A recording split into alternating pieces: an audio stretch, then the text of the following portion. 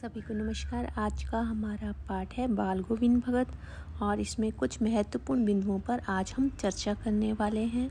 साथ ही हम important questions पर भी चर्चा करेंगे। तो देखते रहिए वीडियो को अंत तक। बचपन में जो लेखक है, वह खुद पर गर्व करता था, बहुत गर्व करता था। क्यों करता था? क्योंकि वह एक ब्राह्मण था। ब्राह्मण ही ब्रह्म को जानता है। और लेखक भी पक्का ब्राह्मण बनने के लिए ब्रह्म को जानना चाहता था। इसलिए वह रोज संध्या करता, गायत्री का जाप करता, धूप हवन करता, तिलक लगाता था। और सभी ब्राह्मणत्व के कार्य वह करता था। पाठ में बाल गोविंद भगत मंझले कद के व्यक्ति हैं। उनका रंग गोरा है और उनकी उम्र जो है साठ वर्ष है। वे दाढ़ी या जटा नहीं रखते हैं। लेखक उनका बहुत सम्मान करता है। और उनका चेहरा हमेशा सफ़ेद बालों में चमकता रहता है। शरीर पर वो उतने ही कपड़े पहनते हैं जितना शरीर को ढकने के लिए ज़रूरी हो।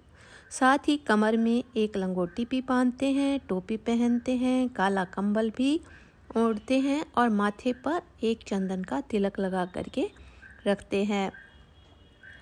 गले में तुलसी की जड़ों की माला पहना करते थे। बाल गोविंद भगत कबीर जी को काफ़ी मानते थे और कहते थे कि जो भी कुछ दिया हुआ है, वह सब कबीर जी का दिया हुआ है। कार्तिक मास में बाल गोविंद भगत की प्रभाती शुरू हो जाती थी। प्रभाती क्या होती है? सुबह सवेरे गाए जाने वाली प्रार्थना। और यह प्रभाती कार्तिक मास से शुरू होकर के फाल्गुन मास तक चलती रहती थी। वे सुबह अंधेरे में उठते, गाँव से दो मील नदी पर स्नान करने जाते और वापसी में गाँव के पोखर, यानी तालाब के ऊँचे स्थान पर अपनी खंजड़ी बजाते हुए गीत गाया करते थे। और उनके जो गीत होते थे, अपने आसपास के वातावरण को भुलाने के लिए काफ़ी होते थे। जब माघ की सर्दी आती थी तो उनके गीत में इतनी उत्तेजना आ जाती थी कि उन्हें पसीना आने लगता था। लेकिन सुनने वालों को शरीर ठंड के कारण कपकपा रहा होता था। पाठ में ही एक महत्वपूर्ण घटना घटित होती है, जो उनका पुत्र था, वह बीमार था और दिमाग से कमज़ोर था और उसकी मृत्यु हो जाती है।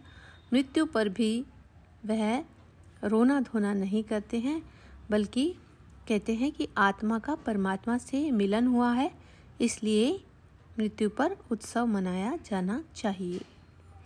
पुत्र की मृत्यु के पश्चात बाल गोविंद भगत ने जैसे ही श्राद्ध की अवधि पूरी होती है, अपनी पुत्र वधु को उसके घर भेज दिया और उनकी जाति में पुनर्विवाह की अनुमति थी। वे अपने घर में विधवा जो जवान है, उसको रखना नहीं चाहते थे। और वे चाहते थे कि उसकी अच्छे घर में शादी हो जाए। बाल गोविंद भगत हर वर्ष गंगा स्नान पर भी जाया करते थे। गंगा स्नान के बहाने उन्हें संतों के दर्शन हो जाते थे। गंगा उनके गाँव से तीस कोस दूर थी, जहाँ जाने में चार पाँच दिन लग जाते और घर से खाना खाकर चलते, घर आकर ही कुछ खाया करते थे। उनके अनुसार यदि वे साधु हैं तो साधु को कहीं आते जाते समय खाने की आवश्यकता है। क्या आवश्यकता है? यह कहते थे और यदि वे गृहस्थी हैं तो गृहस्थी को भिक्षा मांगकर खाना अच्छा नहीं है। इसलिए दोनों कारण से ही। वह घर पर खाना खाया करते थे, लेकिन पानी ज़रूर मांग करके पी लिया करते थे। और पाठ की बात करें, कुछ महत्वपूर्ण बिंदुओं पर अगर हम चर्चा करें तो बाल गोविंद भगत को आदरणीय व्यक्ति मानता है यहाँ पर लेखक। और लेखक ब्राह्मण था, जबकि बाल गोविंद भगत एक तेली थे और उस समय तेली समाज को अच्छा नहीं समझा जाता था। फिर भी बाल गोविंद भगत सबकी आस्था के कारण थे। लेखक ने पाठ में यह बताया कि वास्तव में वह साधु थे गृहस्थी में रहते हुए भी साधु का जीवन जिया करते थे। साधु की पहचान उसका पहनावा नहीं होती, अपितु उसका व्यवहार होता है। और बाल जीवन बाल गोविंद भगत की बात करें तो वह मोहमाया के जाल से दूर रहने वाले व्यक्ति थे। उनके अनुसार जो भी देता है वह मालिक देता है और इसीलिए वो अपने खेतों की पैदावार कबीर मठ में पहुँचा देते थे। बाद में प्रसाद के रूप में जो मिलता था, उसी से अपना जीवन निर्वाह कर लिया करते थे। पुत्र की मृत्यु पर भी पुत्र वधु से सभी क्रियाक्रम करवाए जाते हैं। जैसा कि मैंने आपको पहले भी बता दिया था, समाज में प्रचलित मान्यताओं को नहीं मानते थे। उन्होंने पुत्र वधु को पुनर्विवाह के लिए उनके घर भेज दिया था और अपने निजी स्वार्थ के लिए कभी भी काम नहीं किया करते थे। और अंत तक अपने बनाए हुए नियमों में विश्वास किया करते थे। क्यों? ऐसा क्यों था? क्योंकि उन्होंने आत्मा को जो है, उसका वास्तविक आत्मा का रूप है, उसे पहचान लिया था। और उनका यही सोचना था कि आत्मा का परमात्मा से मिलन हो जाता है जब व्यक्ति को मृत्यु प्राप्त हो जाती है। अगर हम बात करें तो यहाँ पर बाल गोविंद भगत जो है पाठ का प्रमुख चरित्र है और उनका व्यक्तित्व एक साधु जैसा है। और हालाँकि वह साधु नहीं हैं, उनके चेहरे पर सफ़ेद वालों के कारण काफ़ी तेज लगता था।